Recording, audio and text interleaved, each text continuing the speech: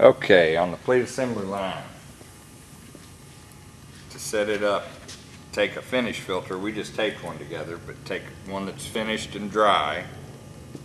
You see you have bolts on your pivot arms. You have two on this end, you have two on the other end past the conveyor.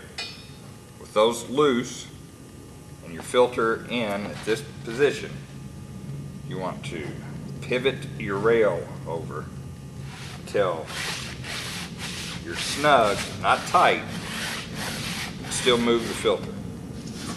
At that point, you want to snug these bolts up. You go to the other end with the filter.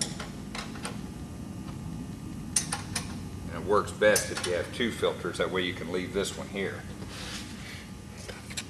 Go to the other end and do the same thing. Just make sure that rail doesn't move when you tighten these up at the entering end.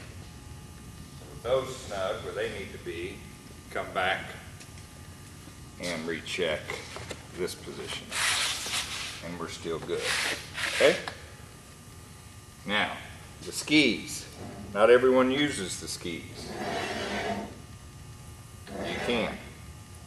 You'd line them up over the edges, one in the middle. You would drop down to the different notches based on which height. Most people seem to use these on one inch, some people use them on four and fives. It's uh, operator's choice.